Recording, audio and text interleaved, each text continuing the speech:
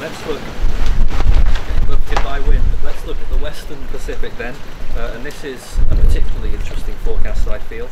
Uh, this year we are expecting 31 named storms, which is 4 above average, 17 typhoons, and 10 major typhoons of category 3 strength or higher.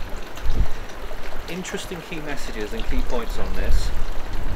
Um, current indications suggest that one or more early season typhoons are likely around the Philippine region in May, and indeed already coming up on the long-term model forecast we're looking at some significant typhoons possible, at least when you look at the GFS. We know how wrong they can be sometimes, but uh, it would appear that the trend is towards some significant activity in May, and indeed at the end of April even.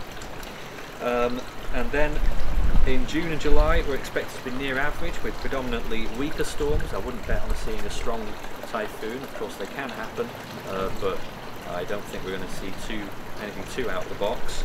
Um, and then a substantial uh, long tracking typhoon with severe impacts cannot be ruled out in August. We're not sure yet, but one of the indications was showing a long tracking intense typhoon possibly ploughing northwestwards through northern Taiwan into China.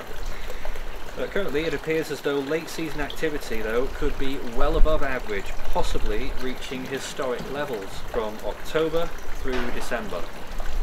Now by this time storm recurvatures look like they're going to become less likely and the Philippines, Vietnam, Hong Kong, Taiwan and Japan, all of these places are all at risk of severe impacts with a much higher normal probability than normal.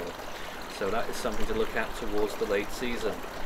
So far there have been no indications uh, of storms tracking particularly far north, uh, so we're not particularly concerned about the Korean Peninsula, at least not above normal levels, um, and we haven't found anything clear-cut for any storm impacts there. But of course, we know that anything can happen in these seasons. You'll see the colours on the screen there um, and showing some really dark orange in October and that is where we expect a real anomalous activity to happen with some possibly very strong typhoon uh, extending on into November as well.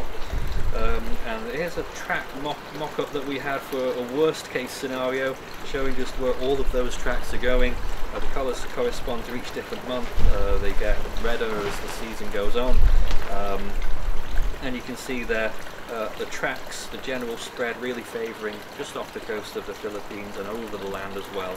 Um, and South China Sea could be quite a busy season there actually when you look at it with some strong typhoon impacts possible, um, especially places like Hong Kong and central Vietnam uh, and Taiwan and even the western part of the Philippines, maybe a little bit higher than average on the chances this year showing you there uh, just how busy it's looking for tropical storm conditions. I mean, yeah, this is pretty normal. The Philippines averages one typhoon a year, so it's actually a surprise when there isn't a typhoon impact there. Uh, but once again, very high chances of tropical storm and typhoon conditions extending up through Taiwan, uh, through the southern coast of Japan. There could be significant impacts there along the southern coast um, directly, but moving inland, maybe not so much. Uh, the Korean Peninsula, yeah, around average. Um, and looking for typhoon conditions, let me try and find that. Um, yeah, obviously the Philippines, very high chances right up the east coast. A little less on the west coast actually, although they have more chance of tropical storm conditions. Um, and central Vietnam, an area that we're watching. Northern Vietnam, a little bit less for typhoons, maybe more for tropical storms.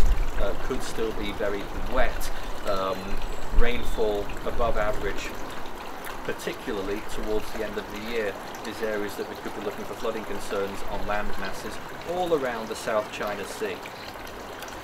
If you have any more questions uh, in general around Force 13 and what we do, um, and possibly to join in on our contributor drive, please feel free to send us a message, uh, contact at force13.com or you can also send us messages on social media at Force13 on Twitter, and you can search Force13 on Facebook, and join our Discord server with our big community of over 3,800 uh, storm trackers right now, all around the world, covering all weather topics. You can find it at discord.gg slash Force13.